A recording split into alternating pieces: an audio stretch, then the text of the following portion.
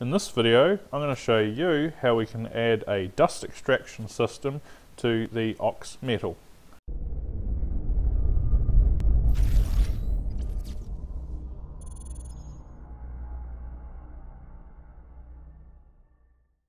So how this dust extraction system works is we have a vacuum shoe surrounding the router bit itself and this catches most of the fine particulate and the medium particulate.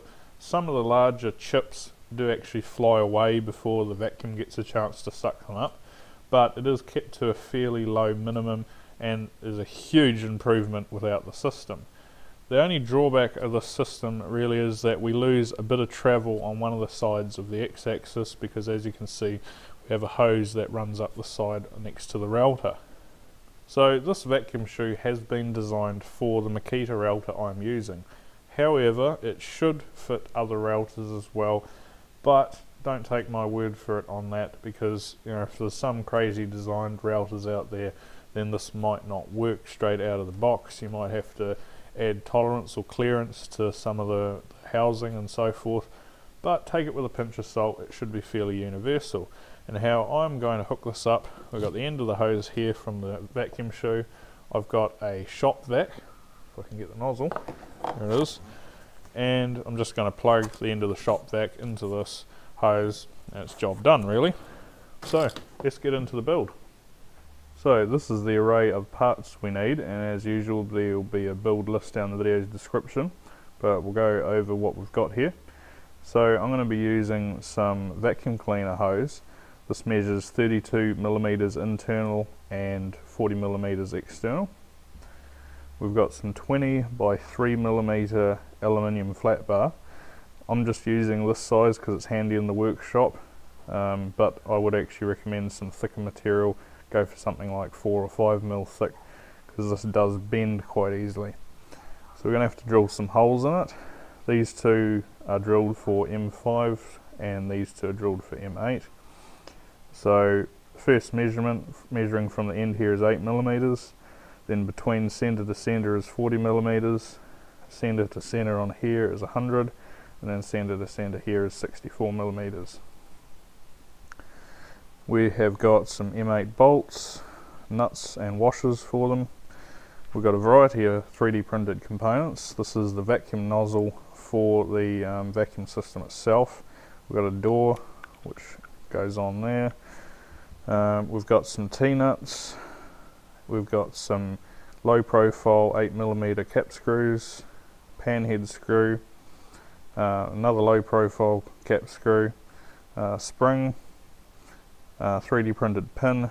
We're going to need an extended switch mount because we are going to be limiting the, uh, the amount of travel on the x-axis. This is a PVC elbow. It fits just snugly inside the 32 millimeter vacuum hose there and I've just painted it black so it matches. We've got another 3D printed component. This helps hold the hose in place. Um, we've got some hose clamps and we've got two, we need to print two of these.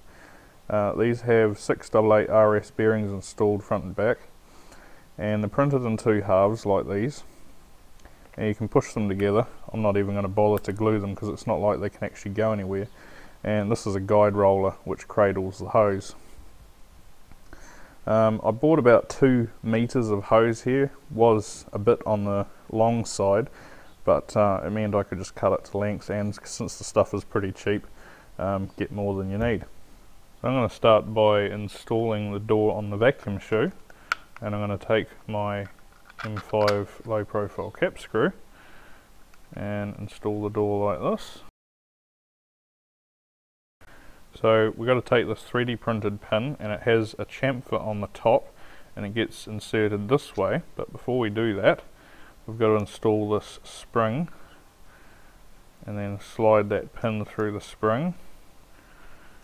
And then we've got to take our pan screw pull the spring back and then start to thread that pan screw into the pre-existing hole in the pin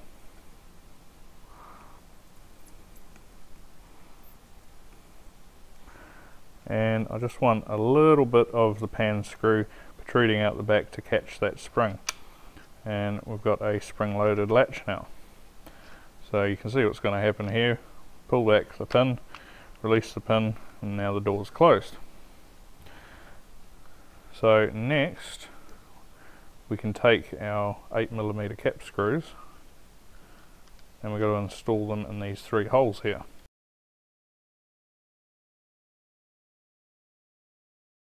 So now I'm just going to thread on these T-nuts, just a couple turns to hold them.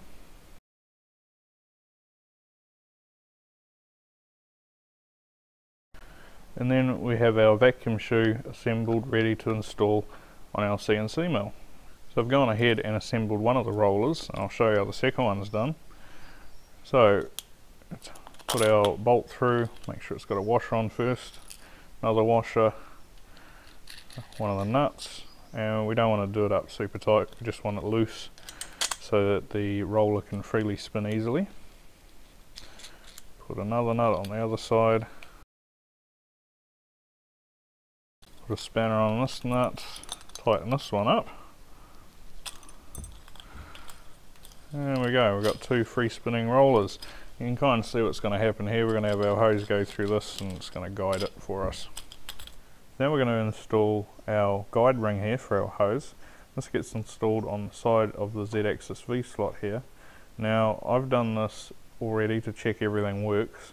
So I've got my T-nuts pre-installed in the V-slot. However, it's much easier to put the T-nuts and nuts on this and then just slide this whole assembly on so I'm doing it a bit backwards, but you get the idea nevertheless.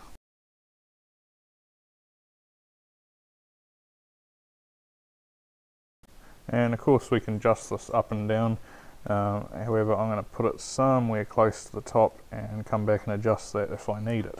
So now we've got to install the vacuum shoe onto the bottom of the Z-axis V-slot. And we're going to unfortunately have to take off our plate that goes at the bottom of the V-slot here. And those nuts we installed earlier we want to get them all vertical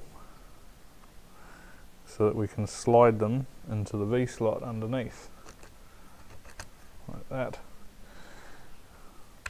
And then we can open the door and then tighten up the nuts. And then of course we have to go ahead and put the plate back on. Next up we've got two T-nuts installed in the X-axis V-slot here.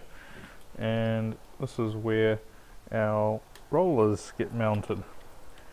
So I'm going to be using 8mm low profile cap screws however if you are using thicker aluminium um, flat bar than I am you'll want to go ahead and get some longer length um, cap screws. and then you want to go ahead and slide it right up to the gantry plate and then tighten up those cap screws.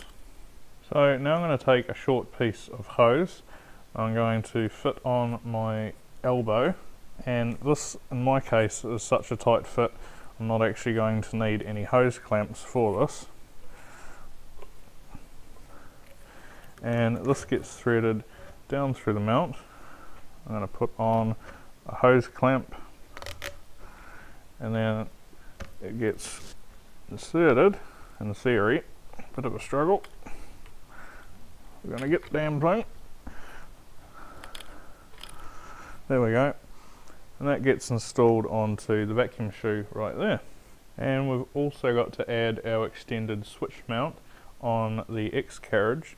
Um, and this is because we've got the vacuum shoe down here, it's offset, we've got the hose coming off one side which would otherwise knock into our y-axis V-slot here. So we need to limit the travel with an extended switch. And then the last thing to do is to feed another length of hose through our rollers. I am going to use a hose clamp on this junction because I don't want the hose getting pulled off. Push that onto the PVC coupler. So that about wraps it up for this video. Thank you very much for watching. If you liked the video and found it useful, please hit that like button, it'd be much appreciated. And also consider subscribing if you love this content. I'm sure there'll be much more to come. And that, thank you very much for watching. See you next one. Bye for now.